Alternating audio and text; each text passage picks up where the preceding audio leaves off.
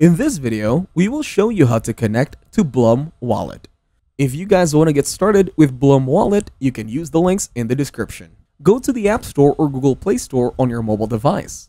Search for Blum Wallet. Download and install the Wallet app on your device.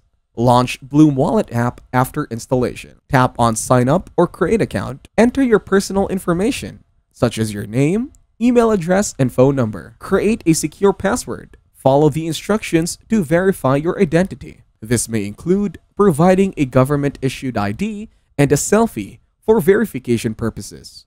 Log in to your new Blum wallet using your email and password. Set up additional security features, such as 2FA, to enhance the security of your wallet. Navigate to add funds or funding within the app. Link your bank account or credit card by entering the required details. Transfer funds from your bank account or credit card to your Blum wallet. Blum Wallet may offer integration with other financial services and platforms.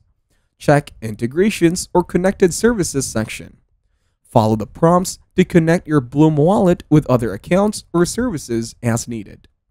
Use your Blum Wallet to make transactions, send or receive payments, and manage your digital assets. Keep track of your transactions and wallet activity through the app. So that is how to connect Blum Wallet. Make sure to use the links in the description to get started with Blum Wallet. If this video was helpful, please consider leaving a like and subscribing to my channel. With that being said, I will see you in the next video.